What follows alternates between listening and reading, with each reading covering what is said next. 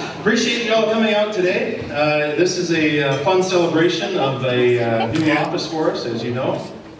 We do a lot of these in our grocery stores, and they become a little bit, uh, I don't want to say the same, but we've done it so many times that uh, this is fun to open something different and, and have a different kind of uh, group of people here today. So thank you for joining us. Performa, again, Brian, Doug, and Aaron had key roles on this job, and uh, those of you that have ever had an opportunity to work with them know that they are very easy and uh, fun to work with and are very creative. So much of this design and, and things came from them. I am going to bring up Brian Netzel. Where is he? From Performa, and he's going to come up and talk about the building a little bit, I think, or sing and dance.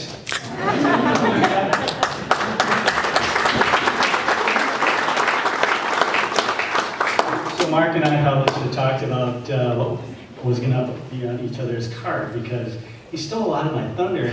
But part of that's really, really good because it makes me and I think every one of the Performa people that are here today um, proud because everything that he talked about is kind of the embodiment of festival foods. And when you enter, when we enter today, he said, "Hey, I'm one of the first people here, and and uh, welcome to see your building." And I'm like, "No, no, no, no, no. This is this is your building."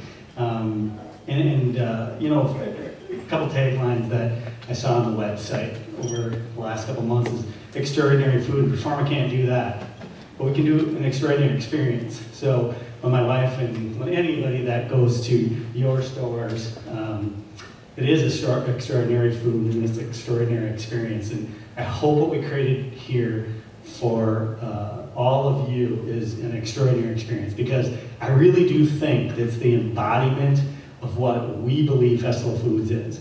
So um, early on in, in, our Performa process, we think there's, there's three simple steps. It's kind of our secret sauce. It's kind of what we would think is our boomerang, right?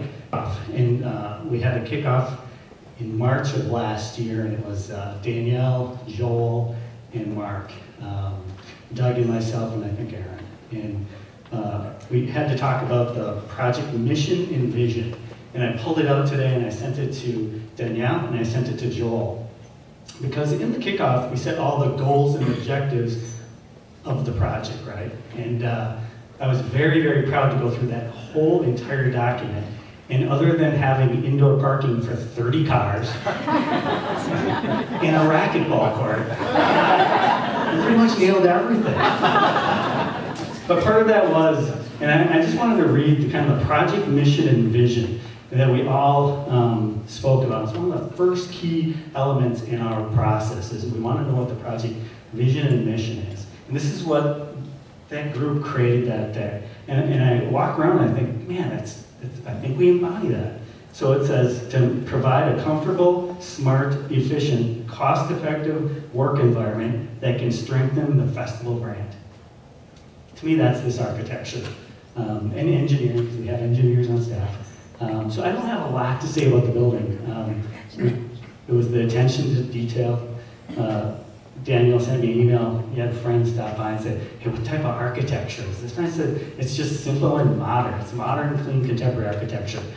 Uh, just for a history lesson, everyone can go away. There's an architect, famous, died in the late 60s. Um, his name was Mies van der Rohe. And he had two famous lines, is less is more, and I think we accomplished that and God is in the details, and I think we accomplished that. And we got a boomerang shape. He never said that. so that's all I wanted to say because I know Dave Voss is going to come up and talk next. So thank you. Thanks everybody. Thank you. So then you bring in Performa, okay?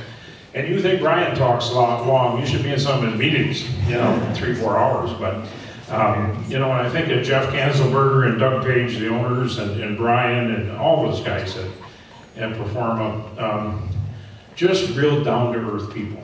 And, and, you know, again, like developers, architects can be a little hard to work with, you know.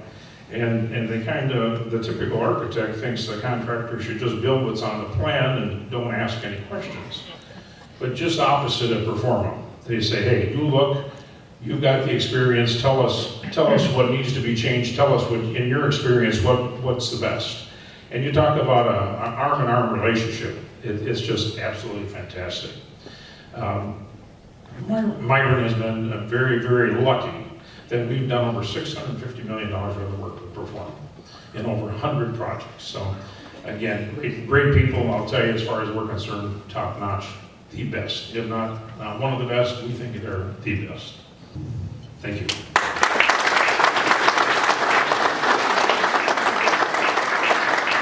Here, come on.